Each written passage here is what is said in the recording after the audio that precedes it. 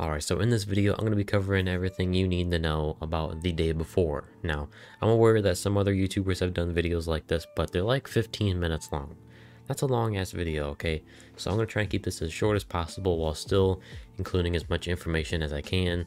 And before we get this show on the road, I would really appreciate if you go down below and give this video a like and get subscribed so you don't miss my future videos. And with that out the way, let's get right into the video.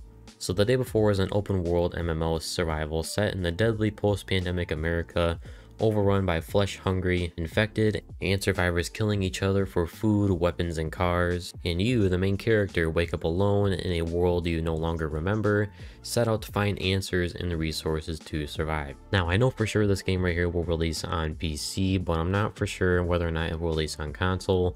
Um, there was some rumors about it releasing on the next generation consoles, the Xbox Series S, X and S, and the PS5, but I haven't heard anything about releasing on previous generation consoles, although I hope it will because not everyone has a next generation console. Now the day before will release on June 21st, 2022 on the platforms that I just mentioned a little bit ago.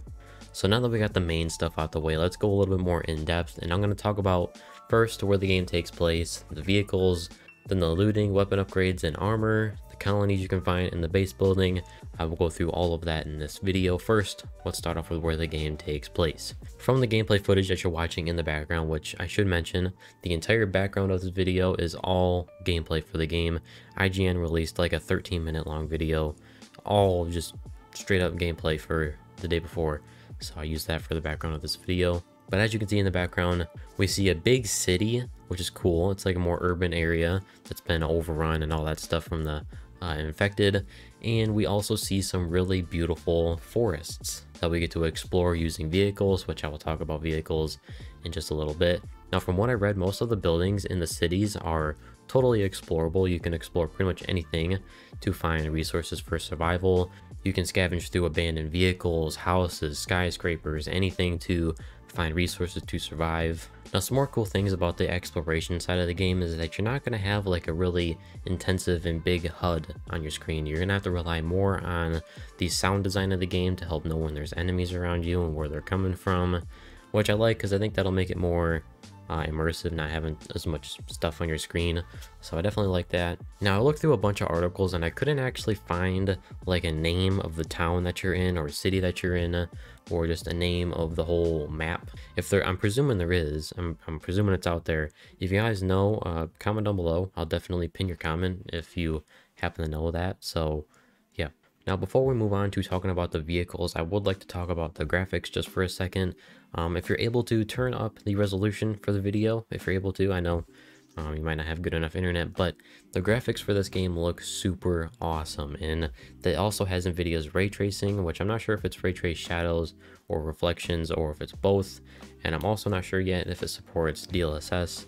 Although usually if a game gets RTX um, in it, it usually gets DLSS to go along with it.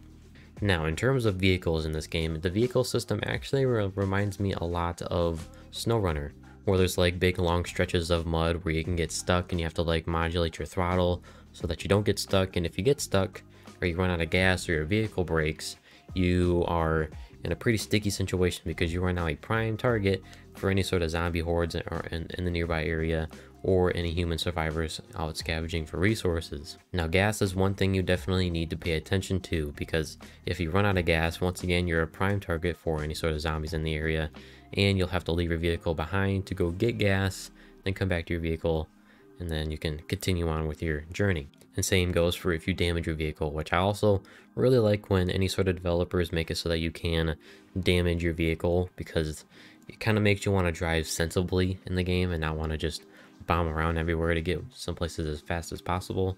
Now, as far as what kind of vehicles will actually be in the game, there is one photo that I'll put, up on screen right now. It's on their uh, Days Before official website, and it shows these like, um, I guess, not really Jeep looking things. Uh, if you know what a Mercedes G-Wagon is, it looks actually pretty similar to that, or like a Land Rover or something. But there's also this big lifted truck in the background with a big old supercharger sticking out of the hood, which I definitely like that. That looks very cool.